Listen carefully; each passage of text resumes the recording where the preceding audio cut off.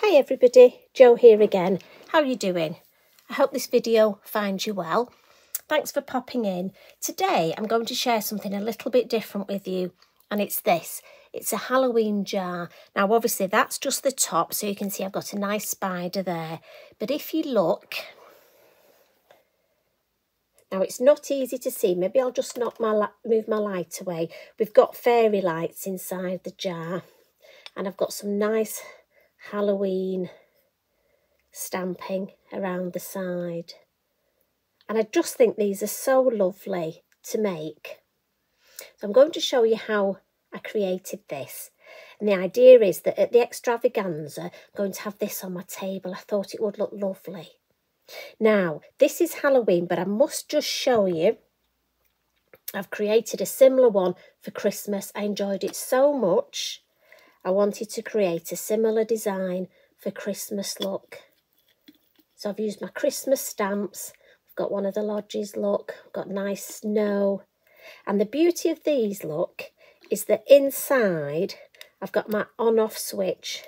So I can just pop the lid back on. So what I'll do is I'll switch the lights off in this one. At that lovely spider's web. Put the lid back on. And I'll show, I'll bring my light back in and I'll show you how I created it.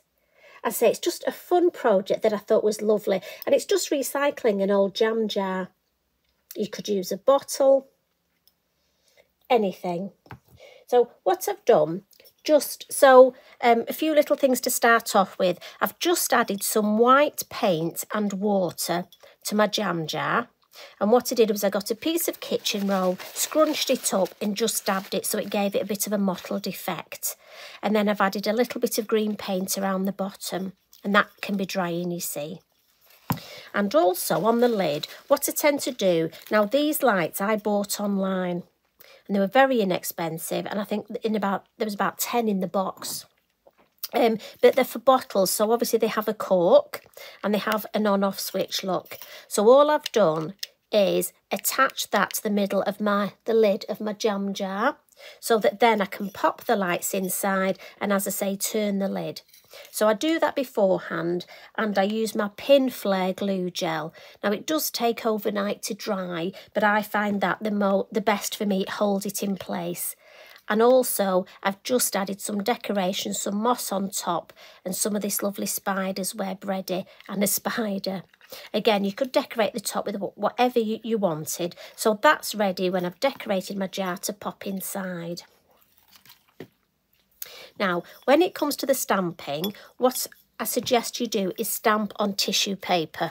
So you just want normal white tissue paper. Now you can buy this as gift wrap or you can sometimes in those nice shops where you get expensive blouses, they wrap your blouses up, well, I believe, in tissue. Now, you stamp on the tissue, but make sure you have got some paper underneath. Because if I show you, use a permanent ink as well. So I'm using my VersaFine. And I'll just stamp the cauldron for you. Now, obviously, the ink will go through. So do make sure that you've look that you've got copy paper underneath and all you do is stamp. Now you could use different colours ink if you want. I've just gone for the black, the Nocturne. I would stamp the images and just give them sort of 10 minutes to dry. So this is one of those projects where for me, I glued my lid and my lights last night so they're nice and dry. And about 20 minutes ago, I added the paint onto my jar. So basically, while that's drying, I could do my stamping and then I would leave my stamping to dry so I'll put that to one side and what I would then do is on my finished one if I show you just here where you almost the top of the jar I just wanted to add a little bit more detail. So I've gone for just some string.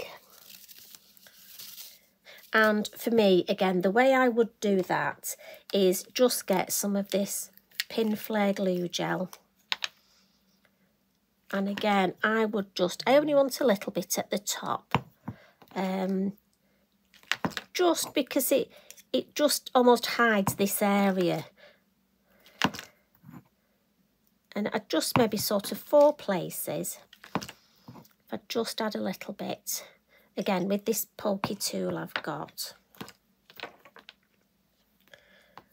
And then all I do is literally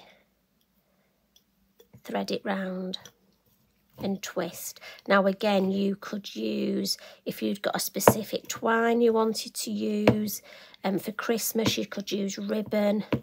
I just like, I don't know, there's just something about string that I like. But I know some people aren't a fan of string. So again, you could use, like I say, a decorative ribbon. I mean, you could just paint to the top if you wanted. I just wanted something almost to finish it off at the top. And I just find if I just pat it down, look, that nicely. And then what I would do is cut that.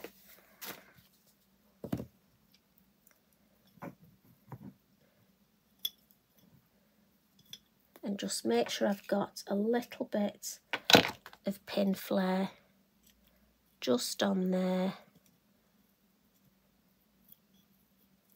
Tuck that under. There we go. I'm just going to push my Pinflair up so it doesn't dry out.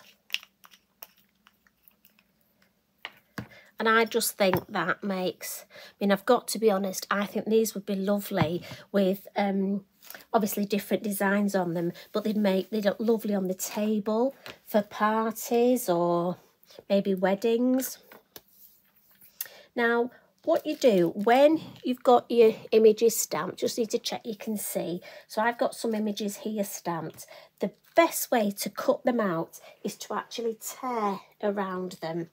It's just more forgiving and your edges will almost disappear better.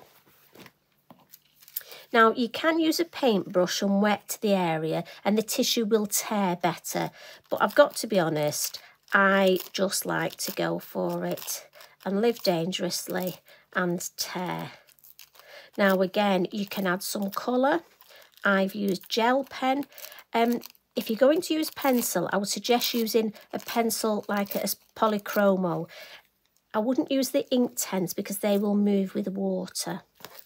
So just tear around the images like that, as I say, nothing too difficult. And then we're going to attach them to the jar.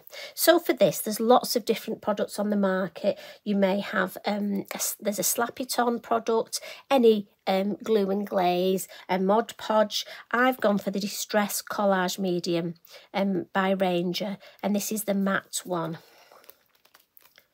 She says, uh, you couldn't get the lid off then. So I'm just going to pop that there. And again, I've just got a nice paintbrush. Now, my suggestion is we'll put the lodge on first. Take a little bit of your matte medium, just pop it on the jar. Then I'm just going to take my lodge and put that on. And once I put it on, try not to touch it with your fingers again. The tissue is quite delicate, and especially when it gets wet with the glue and the glaze, um, if you use your fingers, it might tear. So my suggestion is use your brush to actually attach and shape and almost brush outwards. Do the strokes outwards. Don't overwork it. Now, as I say, this is a glue and a glaze, so it will glue that in shape and also it will glaze on top. So next to the lodge, I'm thinking, let's have the cauldron. So again, we'll pop the cauldron down and just, now you see that's just moved slightly, but I don't want to use my hand. It may have to just be at an angle. That's Halloween, isn't it? Now I have added a little bit of glitter around these. Now I know, let's have flying towards that cauldron, what I think will look nice is if we have one of our dragons, look. So again, now you will take longer with this. Just take your time, brush outwards, a little bit like, you know, when you're doing wallpaper and you brush outwards. Whoops, sorry, I think the brush just hit the... Now let's go around. Let's have... Turn that one that way, then we can have that dragon flying towards the lodge. Just a little bit more. You don't need a lot of this. Get the edges.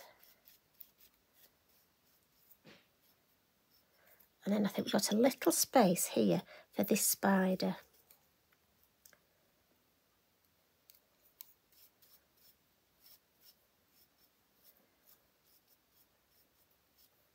There we go. Now again, I'm just going to put my brush in water and put the lid on. It's important to put the lid on and then just wipe my hand. So as I say, that just needs to dry now. And as I say, that is a glue and a glaze. So if you have a look, when it dries and the edges, because we've teared around the edges, it helps them to almost disappear into the white. But also if you wanted, when it's dry, on my finished one, if I bring it back in, I've added some Posca dots and a little bit more gel pen, just for extra sparkle. On my Christmas one, I actually sprayed the whole design with um, a protection, a spray and sparkle, and that just gave it an even better sheen and also it gives it that extra, you know I'm like, belt and braces, so means you can handle it and you don't have to worry. But let's just try, let's just put this in here, switch that on. I don't want to touch that too much, but if I very carefully, so there we go, that's this one finished. And if I just move that light away, I'm hoping you can see the lights inside. So when that's dry, I'll just add some lovely little orbs, some extra orbs. And, and that's it really. So that didn't take long, did it? So that's that one. I'm going to have to stand that one up. I don't want to lie it flat because obviously the tissue's wet. I don't want to tear it. So I'll bring in, let's pop the lights on again. There's Willow the Witch. She's going to roll, isn't she? Let's put a little little pumpkin there to hold her. And let's switch the lights on inside the Christmas one.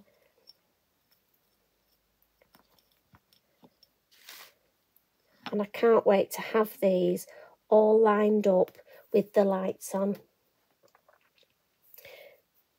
And again, this is a little bit of acrylic paint just for the snow. And really, you can just keep adding as much detail as you want. I've had so much fun creating these.